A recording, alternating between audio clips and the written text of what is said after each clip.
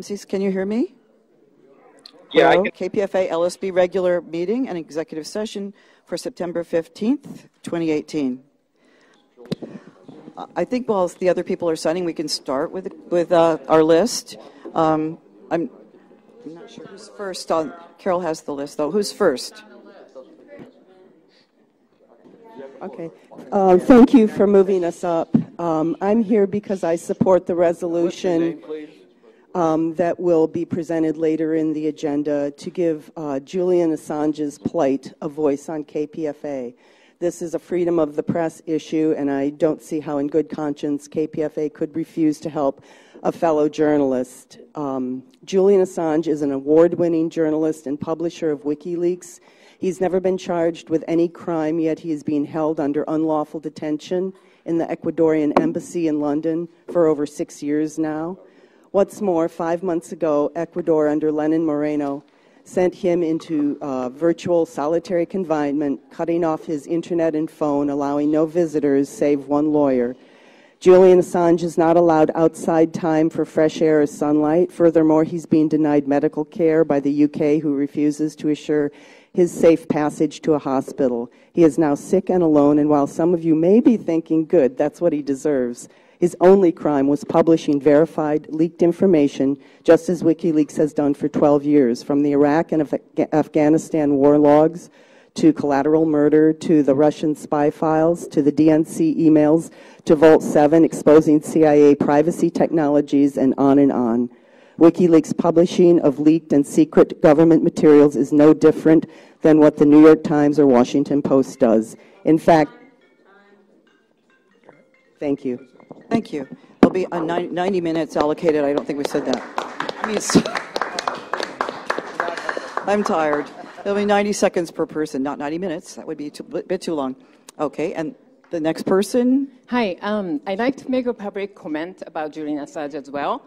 Um, WikiLeaks founder and editor in WikiLeaks founder and editor in chief Julian Assange has been arbitrarily detained more than six years. He has been effectively silenced in the Ecuadorian embassy in London, and this is this is pressured by United States government.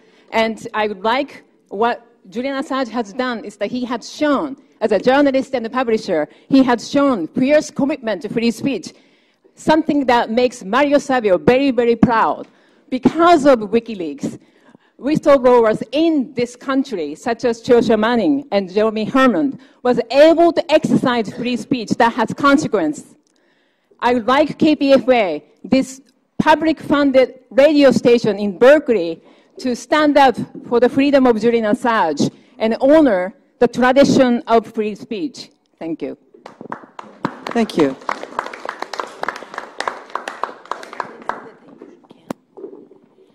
And you can say your name if you wish. We don't mandate that, but you might want to introduce yourself and then say your piece.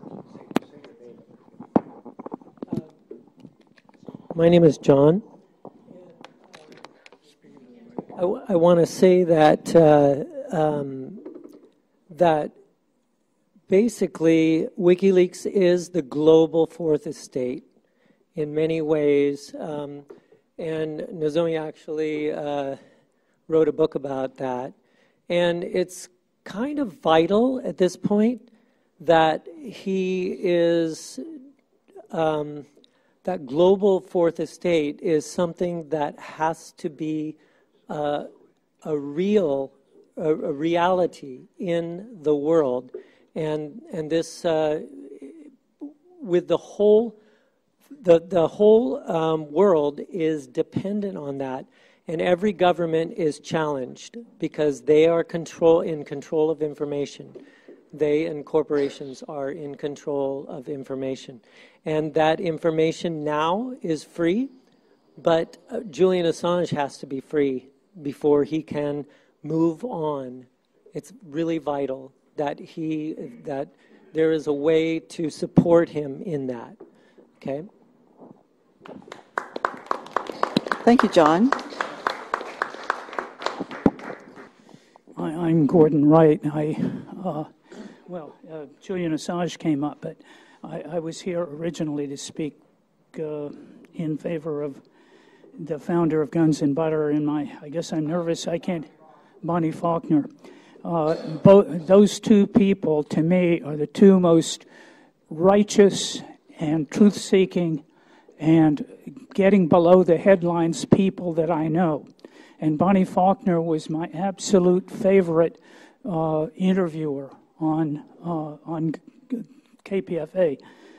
So I'm, I'm extremely disappointed, and I don't want to point fingers, but I have to say that I think KPFA has sold out. I think that that somehow uh, the fact that and I don't know the dates, but Alex Jones and Bonnie Faulkner were deplatformed, censored the same week. It, it, it indicates an in tuneness uh, with with the people of the deep state, and so I I, I really love Bonnie Faulkner, and I can't believe that she was deplatformed at the same time her 17 years of work was taken off the, uh, the KPFA list at the same time. There's some animus in this. And anyway, sorry, but. Hi, I'm Allan Rees. I'd like to reiterate what Gordon just said. Um, but in fact, I think that the station manager, Quincy McCoy, has actually defamed and libeled Bonnie from the things that, that he said. So you could be opening yourselves up to a lawsuit if this is not reversed. You should at least give some due process to Donnie, Bonnie. She's been here, she was here for 17 years. She's raised tens of thousands of dollars for this station. Uh, and you never paid her a cent. And she commutes almost 100 miles to get to the station. Um, there's just no due process in this, and you know you could have asked for asked her to uh, air a, second show that would uh, have a guest on it that would would uh, I guess it's a Holocaust denial is what the issue is to have a guest on there to defend um, um, the Holocaust, but that wasn't done. She was just fired summarily. Um, and I'd like to read uh, a, just a short little paragraph from Steve Brown, from Steve Brown, who's a former director of Pacifica. In a curt Kissoff email to Bonnie Faulkner, McCoy wrote that we cannot defend this content to our listeners. What a misunderstanding of Pacifica's purpose these words display. Management is not there to defend content, it is there to defend the right of content to be heard, especially if that content is unpopular and has been given little or no attention by mainstream media. Thank you. Can we have the next speaker? in line? Where's Carol? Well, my name is Chuck Millar. I'm a long-time listener to KPFA, and I want to thank you guys for keeping the radio station going as long as it has. I've always appreciated that KPFA was a major voice against the war, a voice for peace. However, I want to say that, and I'm speaking in support of Bonnie Faulkner, because uh, her program is the only one that focused on 9 11. And I consider that an absolute key issue for peace.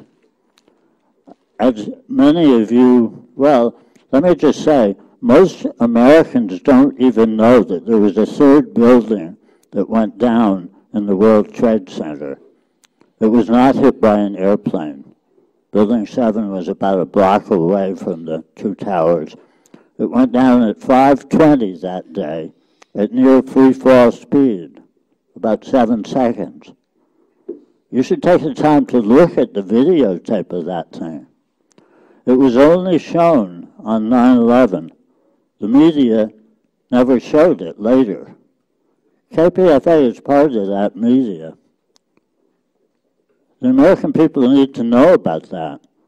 All you need to do is watch that thing go down a few times, and you know that the official story is bullshit. The official story is what all the wars have been based on. Bring Bonnie back. Hi, I'm Vic Sadot. Um, I know there's many uh, uh, meetings like this that actually are on YouTube, so seems to be an inconsistency there of when you allow the public to see what you're doing and when you don't. Uh, it's reasonable to require all programs to state a disclaimer. Uh, if that wasn't done, I think that probably should be done, especially any controversial subject. But it's not reasonable to cancel a 17 year program that's there to challenge our perspectives with alternative and diverse speakers. Basic questions about current and historic events need to be investigated, especially 9 11. So it's not right to wipe out the archives of a popular KPFA show that's been a good fundraiser. I'm against guilt by association and weaponized terminology meant to defame the character and reputation of Bonnie Faulkner. During a nationwide censorship purge of left programs under cover of Getting Alex Jones, uh, people like Scott Creighton of American Everyman, uh, WordPress, and YouTube channels have been canceled. He had a 9 11 section, 11 years of writing about 9 11, gone. WordPress did that. So I call on uh, the board and uh, the management to uh, have Guns and Butter reinstated, to have Guns and Butter archives restored, and to use dialogue and disclaimers. Thank you very much. Thank you. And the next person? We have a next, speaker. I'm Ann Garrison, a weekend news reporter, and I really want to ask you do you really want to go on record as opposing a resolution in support of Julian Assange? And if you push it back to the end of the agenda as old business, it's the same as voting against it because you know you're not going to get to that. Last week, I was on the YouTube vigil for Julian Assange. This is something that now happens once a month. It's organized by some of his supporters in Australia and New Zealand. This time we had a tag team format where one person interviewed the next person and then that person interviewed the next. And I happened to be before Daniel Ellsberg. So he heard me say that KPFA is resisting this resolution, and he said he was shocked. I asked him, would he help us? And he did. He endorsed the resolution, as did Joe Lauria, the editor of Consortium News, and Michael Parenti. You all know who Michael Parenti is. They asked me to be on this vigil because I've written a number of pieces about Assange and used. Thank you. Next speaker.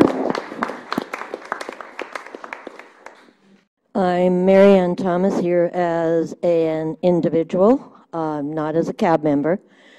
Um, and my opinion around the Guns and Butter and Bonnie Faulkner issue is that um, having been a 9 11 truther for a very long time and feeling that KPFA is one of the few places where 9 11 has really been discussed, and Bonnie's show is the one that discussed, discussed it most frequently. Um, I really wish that she could be kept on, perhaps with a disclaimer saying that her opinions are not the opinions of the station, because as I heard someone say, the station really is not supposed to have opinions, they're supposed to allow voices.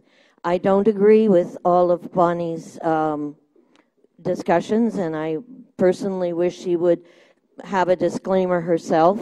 But as it is, I really would like to see the show continue, and I really, really hope that um, KPFA does not lose its its cutting edge, addressing things that are really controversial. And I certainly don't understand the discussion about Julian Assange, so I'm going to listen carefully.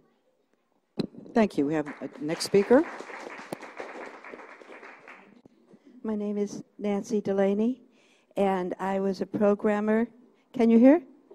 Um, I became a listener in 1966 and have continued throughout. Um, I have been so amazed at the fact that we have an informed democracy to the extent that we do because of this station in this Bay Area. It is a lot of why the Bay Area is as it is. And um, an informed democracy for me, um, learning from the station about what it can be, includes Bonnie Faulkner because she finds people who are like Michel Chossudovsky, a professor up in Canada, who he's taught me so much, his clarity. I mean, she finds people nobody else finds, nobody bothers to find, and we need her. And I do remind you that the history of the station, there were people who were on both sides of an issue early in, in the tradition of KPFA. We do have a mission, but we need to have the information, and Bonnie gets it where nobody else does. Um, I'd also favor Julian Assange to have Julian Assange um, on our air. I think that um, we need to stand clearly in favor that the American people need the information. We need it all the way around. We need all the information, need to hear from everyone, and any one particular sector doesn't get to silence any other. Thank you. We have Mic check. Mic check. Mic check. Anybody We here? hear you. Mic You're check. fine. Mic check. I check. Mic check. I support Julian Assange. That's what you do. You mic check. I support Julian Assange. Everybody say Support Julian. he's a revolutionary and a fighter for the working class and a great ally. Black and brown lives should matter. They don't matter this second. Hear the children. What kind of pie? Occupy. Julian Assange is a brave and heroic.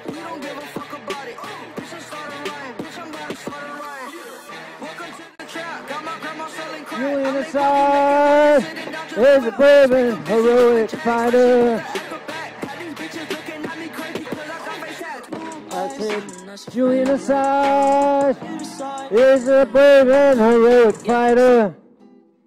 Because of him, our future, our working class future is a lot brighter. It's that same old dirty, rotten capitalist game, and KPFA should fight that game. That's KPFA should fight that game. Thank you. Next speaker.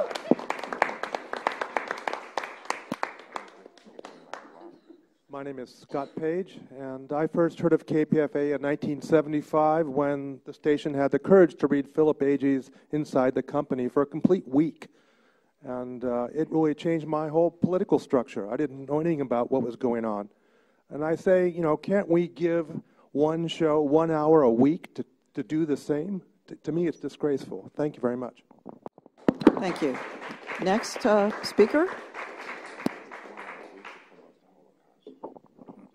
Hello, uh, my name is Daniel Borgstrom. Um, this is about Assange. It's about guns and butter. Uh, let me tell you something. Um, I've said this a dozen times, but I'll say it again. Uh, I, when I was young, I joined the Marine Corps. People asked me why I joined the Marine Corps because there was no KPFA, no other opinions. Anything that uh, was taboo was censored out. That was the world I grew up in. And that's the world we're heading back to right now. Uh, here, um, I should say, I was in the Marine Corps during uh, Bay of Pigs. If it hadn't been for JFK, um, I would have probably been sent. And uh, JFK, he paid for it with his life, and uh, Bonnie talks about that. Now, what can we do? There's a group, uh, Rescue Pacifica. Uh, I mean, there's a, and you know, there's an election coming up. There's this group, Rescue Pacifica, that's going to, um, that's putting together a slate. I promise to be on it, and I'm asking people to join me on this slate and to work for this. Um, I'll pass out a, here's a sign-up sheet. I'll pass it around too. Thank you very much. Thank you. Do we have another speaker?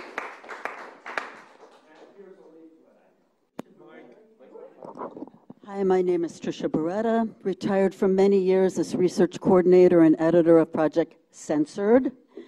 Um, I strongly support the resolution that, that Steve has presented. I wish we could present it. Um, it it's a, really, I feel strongly about all points. Um, KPFA was founded as an alternative to the dominant establishment narrative and indoctrination. And um, I would just wonder what Lew Hill would make of the censorship that's now occurring of Bonnie Faulkner and the censorship of the revelations of WikiLeaks and WikiLeaks and the persecution of Julian Assange. Um, in the name of KPFA, Free Speech Radio. More and more, I have, I have to check my dial, make sure that it's really on KPFA and not NPR or another corporate funded propaganda outlet.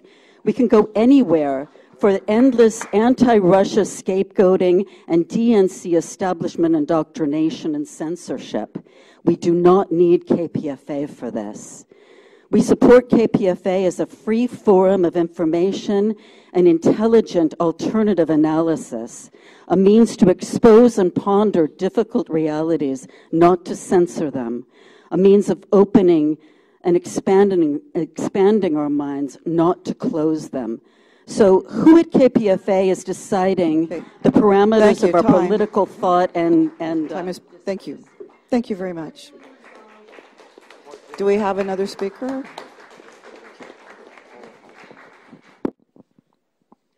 Hello, um, my name is Bill Gibbons. Um, I'm from the North Bay.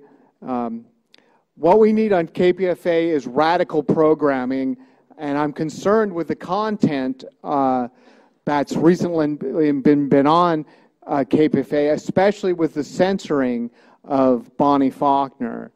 Um, Alex Jones, Bonnie Faulkner, Abby Martin, and others have been censored in recent weeks across the board in media.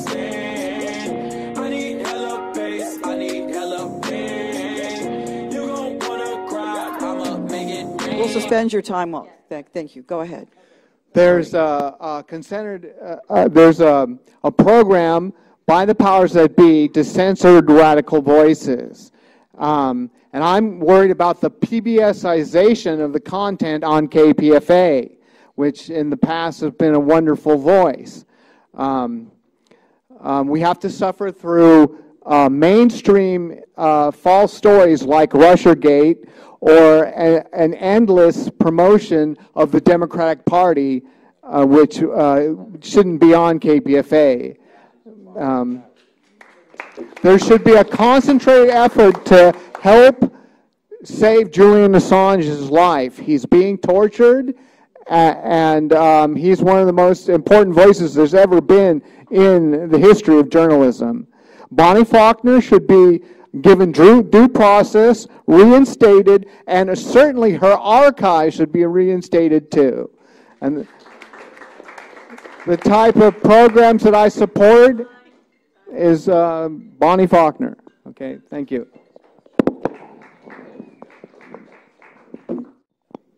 Hello. Uh, my name's Kathy Rogers. I live in Walnut Creek. I've been listening to KPFA for years. I I will do anything not to speak in public, for me to be standing up here with a microphone. Uh, I, anyway, I'm here for Bonnie Faulkner. I am. I was shocked when she told me that her she's been banned from KPFA. She's been the voice of light and reason and uh, truth, and for her archives to be taken down. I'm. I have been thinking that KPFA has been sounding more and more like NPR, and now I'm sure of it. Um, um, I give hundreds of dollars to KPFA every year, and uh, I, I, sadly I'm to I'm to have to stop that, and I'm I'm sad to say I'm sad about that. So, please reinstate Bonnie Faulkner.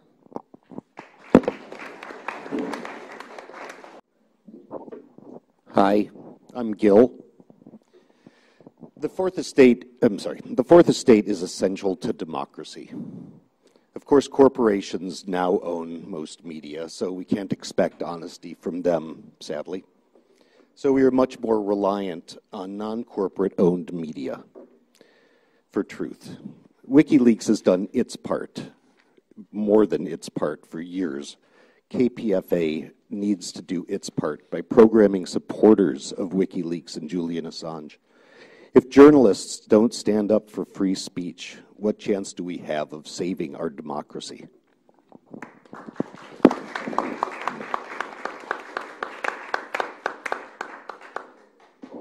I'm the last one, so you guys can uh, move on right after me, and I'll be brief. My name is Chris. Um, I'm also coming in support of Julian Assange and um, Bonnie Faulkner. And I guess what I want to say is that obviously you guys have the power, you have the choice to do what you want in, regarding these two people and their voices. Um, but I do want to say that if if you're not going to have them, if you're going to delete the archives, not have Bonnie, um, then you should not be calling yourselves Free Speech Radio. So that's all I want to say. You guys have the choice. Oh, I'm saying basically, if you're if you're not going to allow Bonnie Faulkner, you're going to delete her archives, um, then you cannot call yourselves Free Speech Radio. Okay, very simple.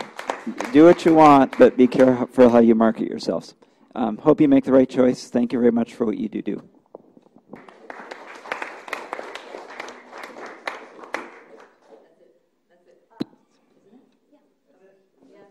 Okay, thank you very much. We appreciate the public showing up to, to say their mind, and speak their mind, and it's good to see so many people here today. We hope that our other meetings will have good attendance as well, because we do want to hear from people. Um, I will go into the general manager's report now.